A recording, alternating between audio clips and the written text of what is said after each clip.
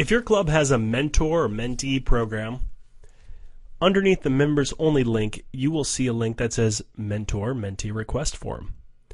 This is something that you, if you're interested as a club member, could click on. And you could see that you could check all that apply to you. Yes, I would like to mentor a new member. I would like to mentor a more experienced member. I am a new member who would like to have an, an, assigned mentor, or I am a more experienced member who would like to have a mentor help me develop special skills. So you could choose one or more of these options. And you could also choose if you want to be contacted by email, by phone, before the meetings, after the meetings, and you could put other comments. Explain basically what you're looking for, and then just click submit. Now, if this link is active, it will go to whoever is assigned in your club to take care of that those kind of requests.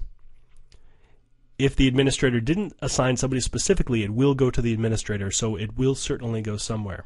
Now, you might not have this link, and if you don't have the link, that means that your club currently isn't participating in that, and you need to talk to your webmaster or perhaps your club officers into activating that link on the website.